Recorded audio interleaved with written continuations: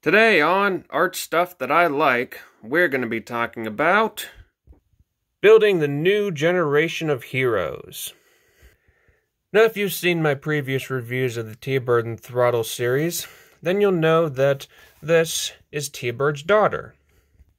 She's got a bit of a strained relationship with her father due to some propaganda issues, but she has the possibility of being a fantastic superhero. She doesn't have any powers that we know of as of yet, but she has the guts and the personality to be able to put on the suit and stand up for what's right. She'll definitely be factoring more into the series from now on, and a review of this book in particular will be coming tomorrow. Make sure to check it out.